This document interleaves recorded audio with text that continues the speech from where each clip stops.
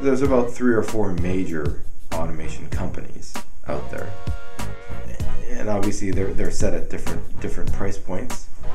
It, it will all depend on how much the, the customer wants or how much the client wants in terms of lighting or, or automation. You know, if, if he just wants some basic lighting and automation, that'll be a given brand.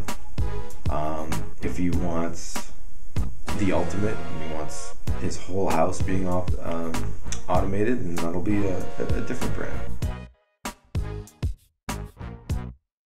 Uh, it can help out with insurance costs.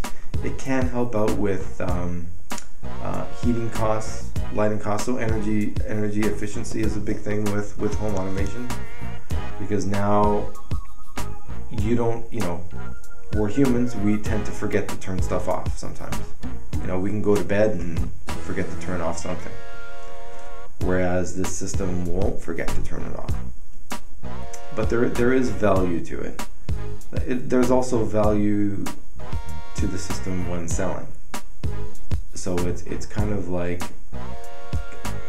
I don't want it might be a bad example, but it's kind of like having a swimming pool in your backyard. There's added value to the house if you have a pool in your backyard.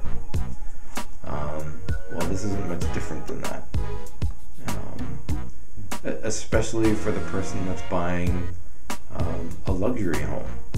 Uh, sometimes they actually expect to have this type of product in the house. For the latest in home automation professionally installed, see the pros at Star Electronics, 845 the Queensway, Toronto. Well, you don't you don't need to phone in, but you can log in online and physically A, you can physically see what's going on in the house. And B, yeah, you'll have access to adjusting any lighting. Like you can turn on and off lights online. So you have access to that also.